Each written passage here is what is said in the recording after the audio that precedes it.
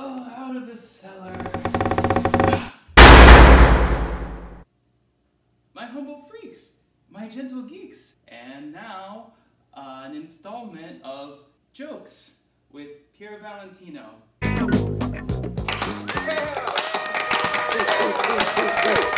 Why don't you put up the pants?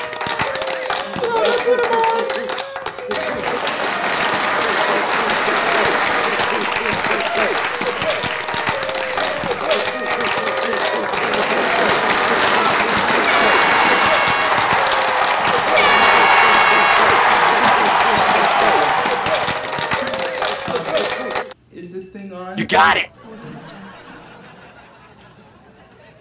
Time for jokes. Uh, I, I still get really nervous uh, in front of so many people. Uh, I gotta read them. I, I hope you don't mind. I'm still I'm still new to this. Uh, okay, here we go. Jokes. Uh, you can lead a horse to water, but you can't get one to tie your shoes. Because it's because they're hooved creatures. They, they have they have they're hooven. Hooved hooven? Who is it hooved? Hoovin. It's hooved. It's actually pronounced hoven, like coven. Hooven. I was born with hooves. Ah, yeah. This one's a it's a little twister on an old tongue twister. Okay, uh, here we go. Uh, what good is a woodchuck if good old Chuck can't get wood?